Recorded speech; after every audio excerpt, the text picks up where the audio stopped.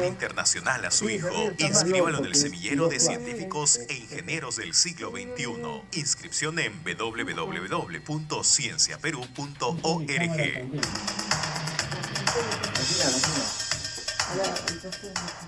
Gracias amigos por seguir con nosotros. Estamos en Encuentro con la Ciencia. Ahora conversaremos con el eh, doctor Jesús Hurtado Zamudio, expresidente de la Comisión de Ciencia y Tecnología del Congreso y por, supuesto sigue de congresista y nos trae una buena noticia. Él ha participado en un congreso científico internacional, el séptimo Foro Mundial de Ciencia en Budapest, Hungría, y allí pues expuso sobre siembra y cosecha de agua. Bienvenido al programa. Muchas gracias, es su privilegio. ¿Usted es hermano? Sí, también, sí. Bueno, usted sabe que yo este, los tres primeros años de mi vida escolar fue en un colegio adventista. Ah, lo felicito. Como que estamos por ahí con cierta formación, aunque ahora creo en Dios 100%, pero en ninguna de las iglesias. No hay problema, lo más es creer en, creer en algo, ¿no? Muy bien. Este, los incas eh, eran pues expertos en el tema del agua, ¿no? Eh, mi pueblo mismo, caray, cada vez que tenemos problema de agua, los alpinos hacen una especie de mina, dependiendo de la profundidad de la mina, sacan el caudal que, quieren. Eh, esa experiencia hasta ahora no la utilizan bien aquí de este lado, aunque tenemos el túnel Graton que nos da 5 metros cúbicos por segundo, que es un río acá.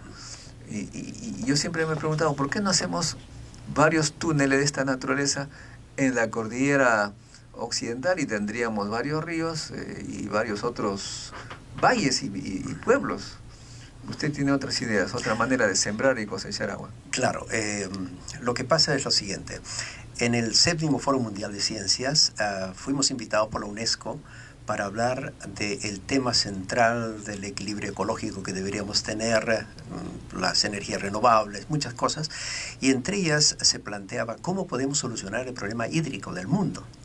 Y claro, el Perú es un caso excepcional. Nosotros estamos en el tercer país, después de Bangladesh y Honduras, que podríamos perecer de aquí a 50 años por falta de agua, porque el 75% de la población del Perú está en la sierra y en la costa, solo un 25% en la selva. Pero ese 75% vive de 2% del agua. Ahora esa agua fundamentalmente viene de los deshielos, muy poco de las lluvias, la mayor parte de deshielos. ¿Qué pasa cuando, como eso ya del año 1970 al 2014, se ha reducido en 42.9%? o sea, los deshielos. Eso significa que de aquí a unos años vamos a estar en una catástrofe por falta de agua. Entonces la pregunta que se nos hizo es qué están pensando, qué se ha hecho en Perú, qué, qué se está planteando. Y aquí teníamos una experiencia maravillosa de un ingeniero que había estudiado en la Universidad de La Molina y que compró un terreno inhóspito allá en la sierra y utilizando la tecnología andina, que es la siembra y la cosecha de agua, logra tener de ese lugar inhóspito un lugar donde hay siete lagunas, donde hay 36 mil árboles eh, sembrados, donde hay 200 tipos de papas nativas de exportación. En fin, fue un cambio abismal. Ahora, si eso lo multiplicamos por toda la sierra, ¿no? desde la parte norte de, de, Sudamérica hasta la parte sur, abarcando todos estos países, imagínense la cantidad de agua que nosotros tendríamos y los problemas que solucionaríamos. Ahí tenemos eh, la ciencia aplicada en realidad a la solución de un problema fundamental. Entonces, ¿de qué se trata esto? Sencillamente de que el agua que viene de la lluvia eh, tiene que hacerse lugares de filtración, o sea, pozos de filtración, y como sabemos, el agua una vez eh, tomada ahí puede filtrar por debajo de la tierra, al cual se refiere usted que abajo podía sacarse ríos. Entonces no hay que perder el agua que llegue, había que sembrarlo. Y luego, eh, por los manantiales que aparecen en las partes bajas, se van formando nuevas lagunas, se tiene otro tipo de producción, eh, se reforesta todo, se tiene otro tipo de microclima, en fin, es todo un sistema de solución. Y este señor eh, ingeniero, César Dávila, lo logró. Entonces, yo llevé al séptimo Foro Mundial de Ciencias en Budapest este ejemplo pragmático de cómo la ciencia los antiguos unido a las tecnologías modernas podía dar una solución al problema mundial, al estrés hídrico en el cual nosotros nos encontramos. Ahora bien, pero mire, usted me dice que podemos ser víctimas de este tema del cambio climático, pero yo repito, la cordillera de los Andes es tan grande y es una especie de esponja de agua. Basta con hacer túneles, no es necesario hacer pozos. Eh, túneles son, en realidad, los túneles son pozos eh, horizontales, puede decir, porque cuando uno hace pozos verticales hay pues que bombear, etcétera. Pero si hace usted túneles, tiene el agua que está ya guardada, algunos incluso está estancada porque hay bloques de, de, piedra que no les permite salir, represas naturales subterráneas. Ya lo dije, el túnel Graton da 5 metros cúbicos por segundo sin necesidad de hacer otros pozos, basta un túnel. No, yo estoy totalmente de acuerdo con usted que eso es otra de las soluciones básicas y fáciles y que todos los que han trabajado en minas lo saben. ¿no? Claro, el, principal problema de los mineros es que tienen el agua allí, incluso gastan cualquier cantidad de plata para sacar el agua y, y les permite trabajar. El problema a veces radica en que cierta cantidad de aguas, por ejemplo, no son de uso del consumo humano porque tienen bastante arsénico, el caso de las aguas que vienen de las minas, ¿no? Eh, pero eso no indica que hay otras que son posibles de utilizar, ¿no? Por ejemplo, nosotros tenemos, cuando se estuvo haciendo los estudios para el túnel trasandino, ¿no? Se descubrió que habría tal cantidad de agua que saldría que sería un problema serio para hacer ese túnel, porque la pregunta es, eh, ¿cómo vamos a solucionar el problema? Entonces, la solución es ponerle unos tubos, ¿no? Y eso aumentaría el caudal del agua del río Rímac y mejor agua todavía. Entonces, no es en Estados Unidos hay eh, tubos de 200, 300 kilómetros que llevan el agua de un sitio a otro, pero aquí al bajar por los ríos, por, por, los valles, incluso se evapora, se contamina.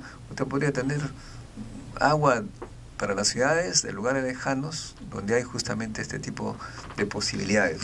Claro, eh, ya nosotros tenemos algunas corrientes de agua conocidas en todas partes, por ejemplo, en la quebrada de Huagapo, en Tarma, hay una enorme cantidad de agua que sale. La gente se preguntó de dónde sale esa agua y es agua muy pura, muy buena inclusive para el consumo humano. Eh, San Mateo sacó precisamente las aguas subterráneas, eh, la pureza del agua que utiliza para producir cerveza, también sacan de la profundidad del agua, de la, de la tierra. entonces, pero eh, la pregunta es, claro, generalmente eso está en la parte baja, pero la parte alta que nosotros tenemos hay que reforestarla. y para eso necesitamos hacer esta siempre cosecha de agua. Claro, y eso permitiría aumentar la cantidad. Estamos hablando de 2 mil millones de metros cúbicos, perdón, 10 mil millones de metros cúbicos al año con ese sistema. Un lago Titicaca más encima de nuestras eh, alturas, eh, de nuestros cerros. Entonces, esa es una parte de la solución. Pero hay que pensarlo seriamente porque no se trata de un tema que podemos dejarlo de lado. El tema del agua va a ser un tema de, crisis mundial. Lo felicito, congresista.